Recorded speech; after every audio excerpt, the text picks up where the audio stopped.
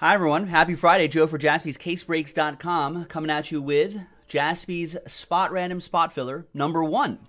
So this will unlock 2017 Bowman Draft Baseball, which sold out last night. So this will find we're, we're going to do that break right after this one. Top spot will get a superb owl square spot. Second name will get 100 bucks of break credit. Nice, and then a bunch of other stuff right here too. All right, big thank you to all of these fine people here for getting into the action. Remember, we're just randomizing your names, not these spots right here. This is Jaspy's spot random filler number one. There you go, on the 25th, Friday. Let's randomize your names. One and a three. Four times.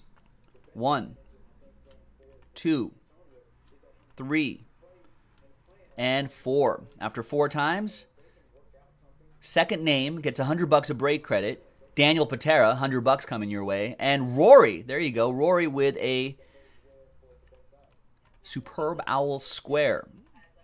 Chance to win big break credit in the big game. And there it is, boys and girls. So Rory, superb owl square spot for you. Daniel, 100 bucks of break credit coming your way.